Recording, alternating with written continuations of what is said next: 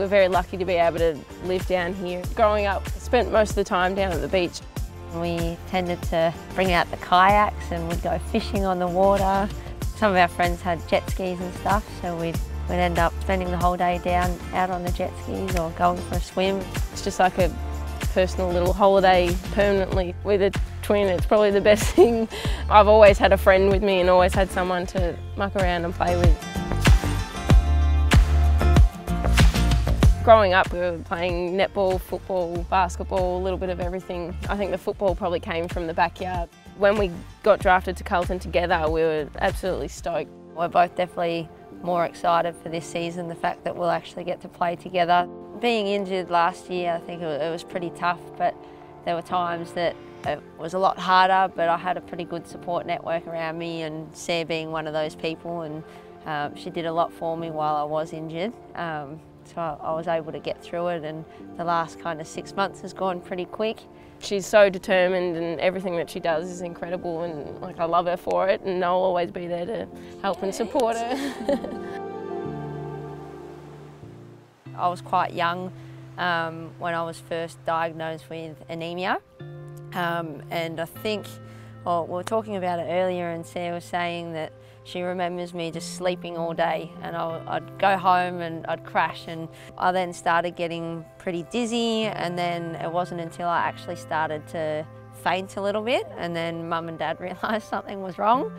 I started to realise a difference in myself when I was probably about 15, 16. It was almost like a chronic fatigue kind of feeling. You're just so drained and the dizzy spells came a little bit and I think it was just that feeling of, oh, don't worry, I'll push it aside. It's just, just because I'm tired or sport is getting the best of me. We're training six days a week.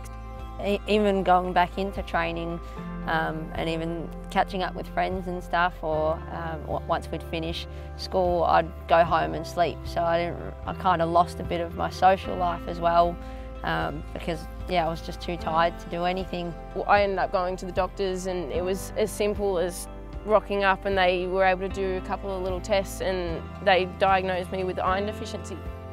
The first treatment for me was an oral treatment, so I was able to take some supplements. Eventually the underlying cause was um, malabsorption, which, I mean, there's multiple causes. You can heavy bleeding, malabsorption, all that sort of thing, but I ended up having an iron infusion probably just before um, my season last year, and I think um, my, our doctors manage just by having lots of tests and we'll get, I'll, well both of us will get regular tests um, done probably a couple, couple times every few months.